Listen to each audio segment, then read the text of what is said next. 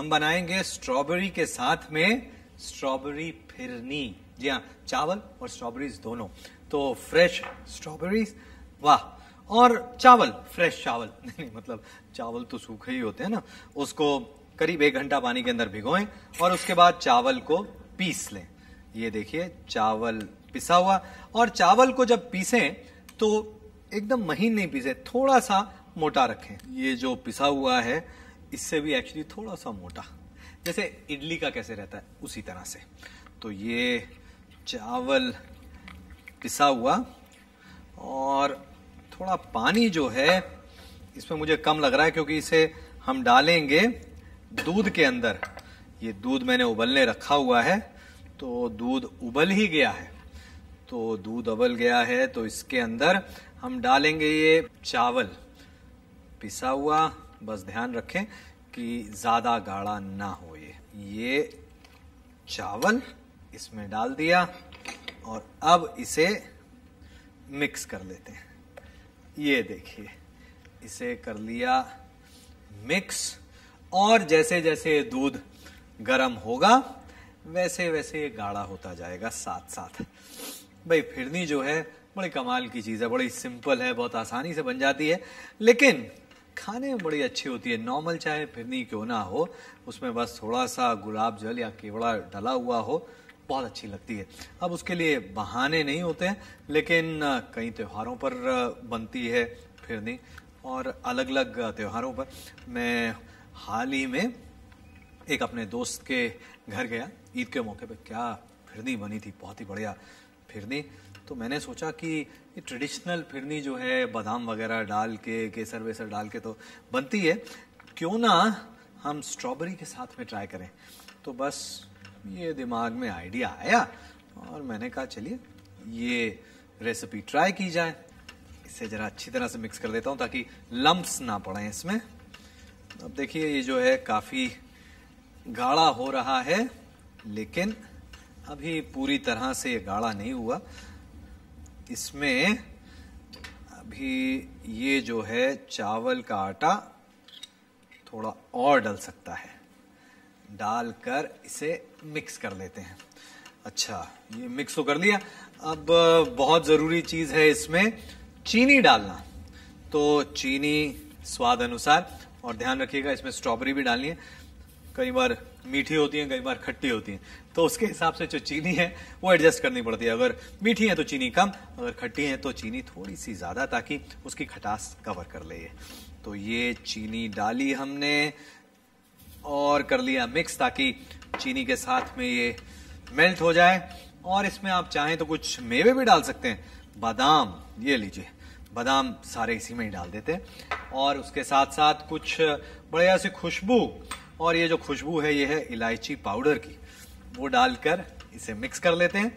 फल हैं, वो तो पक चुके हैं। चीनी घुल चुकी है। तो अब क्या करना है? बस इसे बंद करना है और ज़रा देख लेते हैं चीनी का क्या हाल है। वाह। परफेक्ट जो स्ट्रॉबेरीज हैं, उनको आप प्यूरे कर सकते हैं। नहीं तो बेस्ट तो ये रहेगा कि आप उसे चॉप कर लें। ये जो स्ट्रॉबेरी है, ये लेकर आप इसे रफली इस तरह से, बस फ्रेश स्ट्रॉबेरी चॉप कर ली। अच्छा वैसे अगर फ्रेश स्ट्रॉबेरी ना मिले तो क्या करें? आप इसको बना सकते हैं स्ट्रॉबेरी क्रश से भी। लेकिन अगर फ्रेश मिल जाए तो बहुत अच्छा है। अच्छा अब इसके बाद इसे थोड़ा ठंडा करना है। ये जो हमारे पास फिरनी है, ये ठंडी कर लें आप। रूम टेम्परेचर पे हो जाए तो बहुत अच्छी बात है, लेकिन बहुत ज़्यादा भी ठंडा नहीं करना है, क्योंकि अगर ज़्यादा ठंडा करने गए तो कई बार ऐसा होता है कि ये सेट हो जाती है, इसलिए इसको सेट नहीं होने देना। तो अब ये जो स्ट्रॉबेरी है, ये पूरी तरह से तो ठंडा नहीं हुआ है, लेकिन कोई बात नहीं, ये फिर नहीं तो इसमें ये चॉप्ड फ्रेश स्ट्रॉबेरीज इसे मिक्स करें। ये लीजिए, सबको कर दिया मिक्स अच्छी तरह से। और ये चावल और स्ट्रॉबेरी साथ में अब ये हो गया तैयार। लेकिन इसे इस तरह से मज़ा नहीं आएगा। इसे अगर आपने परोसना है तो इसे ज़रा ट्रेडिशनली परोसें। और उसके लिए मिट्टी के सकोरे ले लें। ये जो मिट्टी के सकोरे हैं, इनको पानी के अंदर भिगोएँ और फिर पानी में से निकाल दें। भाई, पानी के अंदर करीब आधा एक घंटा भिगो कर रखें, फिर पानी में से निकालें और ये जो फिरनी है, इसको डालें इसमें और ये डाल दी इसमें हमने। अच्छा ये अभी तैयार नहीं है। क्यों? क्योंकि इसे अभी थोड़ा और सजाना है। सजाने के लिए आप ब्लांच किए हुए पिस्ते डालें। पिस्ते का रंग बहुत अच्छा लगता है। उससे पहले इसे थोड़ा इस तरह से फ्लैट कर लें और फिर इसके ऊपर डालें। ये ब्लांच किया हुआ पिस्ता, ये देखिए, कितना अच्छा लगता है। आप चाहें तो इसको सजा भी सकते हैं।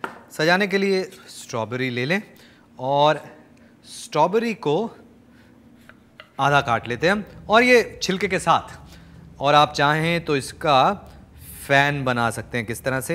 ये स्ट्रॉबेरी ली इस तरह से इसमें ये लगा दिए चीरे। वैसे थोड़ा छोटी छुरी हो तो बहुत अच्छी बात है, लेकिन कोई बात नहीं। मेरे पास बड़ी छुरी है तो मैं तो कर लूँगा। आप घर में छोटी छुरी से करें। नोक से इस तरह से ये काट लें। और काटने के बाद उंगली से थोड़ा सा इसको दबाएँ। एक साइड पे कैसे? ये लिया, ये देखिए। ये। इसी तरह से ये जो है, आगे जी। ये लिया, इसको दबा दिया। और इसे आप लेके रख दें इसके ऊपर। वाह! ये जो है, बढ़िया सी बन गई हमारी स्ट्रॉबेरी फिरनी। है ना? बढ़िया सी रेसिपी बहुत सिंपल है बहुत आसान रेसिपी है।